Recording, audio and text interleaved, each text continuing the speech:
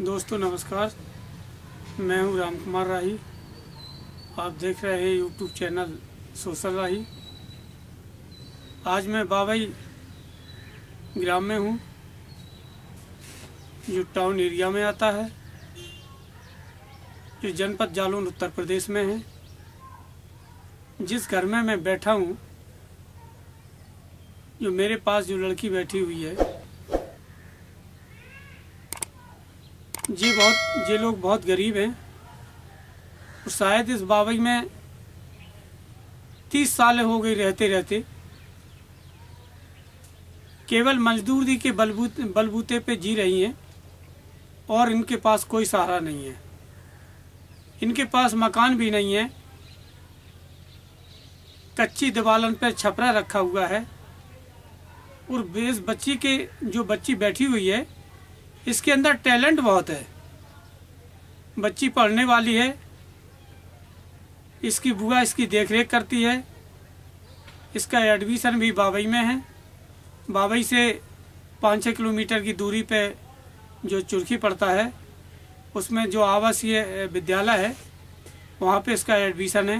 पढ़ती भी है, पढ़ने में भी बहुत तेज है, लेकिन इसकी मजबूरी ये है कि आगे कोई पढ़ाने वाला नहीं है।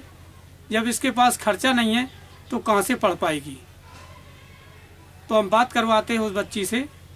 बिटिया क्या नाम है आपका? खुशी। खुशी? कौन से क्लास में पढ़ती है? सिक्स। सिक्स में? तो वहाँ वहाँ पर रहना पड़ता होगा आपको?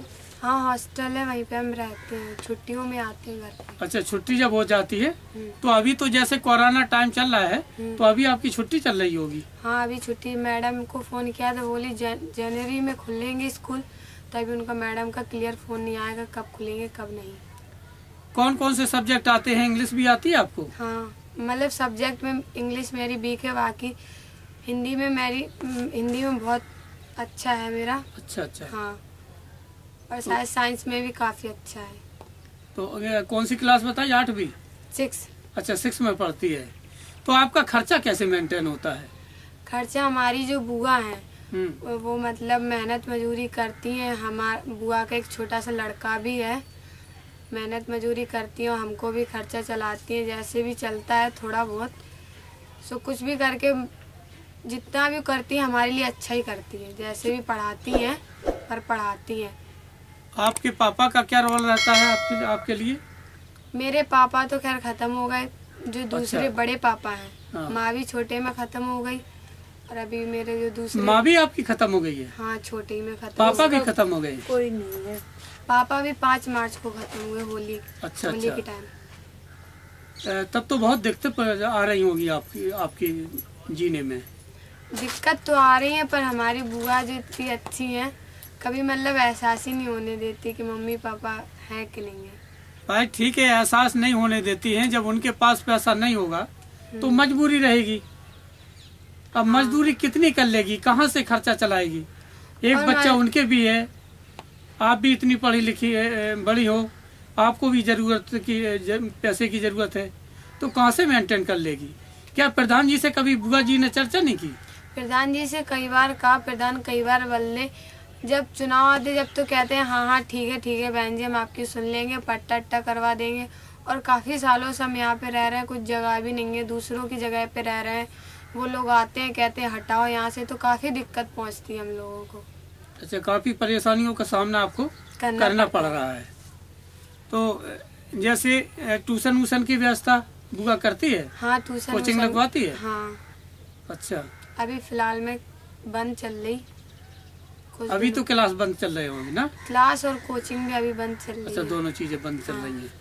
तो क्या बुआ से बात हो पाएगी आपकी? हाँ हो सकती है। अच्छा बुलवा दीजिए। बुआ? आप भी आ जाइए।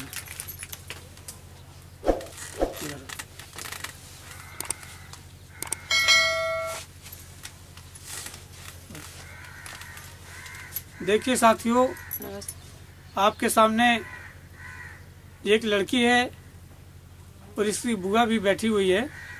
तो आपको बताइए क्या क्या परेशानियाँ झेलना पड़ रही हैं आपको? जो आपको सरकारी सुविधा नहीं मिल रही है। हमें तो कुछ नहीं मिल रहा है सरकार की तरफ़ से और ना तो कोई रहने के लिए जगह मिल रही ना कोई हम लोगों की सुनता है और कानून भी, भी नहीं सुनते हैं यहाँ के प्रधान भी नहीं सुनते हैं मेहनत मजूरी करते हैं खाते हैं गाँव वालों से पैसे अभी मांग रहे बा छोटा सा बच्चा है तो मजदूरी करने नहीं जा पा रहे हैं। तो गाँव वालों से किसी से हज़ार रुपये किसी से दो हज़ार रुपये मांगते हैं देते हैं लेते हैं खाते हैं और कोई सुविधा ही नहीं है तो कितना कर्ज आपने लेके खा लिया होगा अभी हो तक? गया होगा तीस चालीस हज़ार रुपये तीस चालीस हज़ार रुपए हो गया आपके ऊपर कर्ज? हाँ हो गया तो जब आपकी मेहनत मंजूरी नहीं हो पाएगी, नहीं कर पाओगी, फिर कर्ज कैसे चुकाया जाएगा? इसलिए चुका चुकाने के लिए एक ही रास्ता है। इस गाँव से दूसरे गाँव जाएँगे, वो हमारे परिवार के हैं, मामा, अम्मा के लड़के हैं, वो लोग देंगे हमारे मदद, हमारे घर के भी नहीं दे रहे हैं भाई भोजाई कोई, वो भी हमसे लड़ने आते हैं, बोलने, बतलाने सहायता कोई करता नहीं है और धौस दिखाते हैं। बच्ची बच्ची को गलत बोलते हैं हमसे भी अब्बे तब्बे बोलते हैं। आपकी शादी हो गई थी क्या? हमारी शादी हो गई हो फिर वो लोग लेने नहीं आए। हमारा छोटा लड़का है एक साल का। अच्छा वो भी लेने नहीं आए? हाँ हाँ बीस साल बाद हम दूसरी हमारे मम्मी पापा तो आपको यहाँ बाबई में रहते रहते तीस साल हो हाँ गए? तीस साल हमें हो गई हमारे पापा तो बहुत साल पहले से रह रहे तो आपने बराबर रिक्वेस्ट किया है कहा है प्रधान जी से लेकिन किसी ने नहीं सुनी। प्रधान से भी कहा यहाँ के जो मुखिया है पंच लोग है गाँव के बड़े आदमी है उनसे भी कहा। फिर एक हमारा गाँव है बाबई उसमें रहते हैं गढ़ी के राजा साहब। फिर यहाँ के एक ठाकुर साहब की जगह में हम लोग रहते हैं, तीस साल हो गई वहाँ तो उन लोगों का कुछ होने लगा होगा तो हमसे बोलते हैं कि आप यहाँ से हटो। तो राजा साहब के घर गए थे तो उनने एक रहने के लिए हमें थोड़ी सी जगह बता दी है।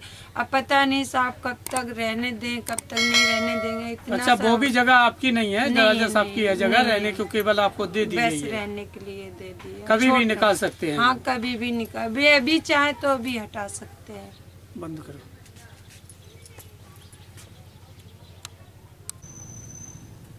देखिए हम आपको इनका घर भी दिखा रहे हैं। बेचारे इसके गरीब परिवार में तीन लोग हैं। एक छोटा सा बच्चा है एक जो बच्ची है जिसका नाम खुशी। है। और इनकी जो बुआ है इनका नाम बिमल है। और ये देखिए घर की कंडीशन है इनकी। ऐसी कि एक छपरा रखा हुआ है उस पर सारी चीज़ें ये दिखाई दे रही हैं। देखिए हम आपको। दिखाई दे रहे हैं।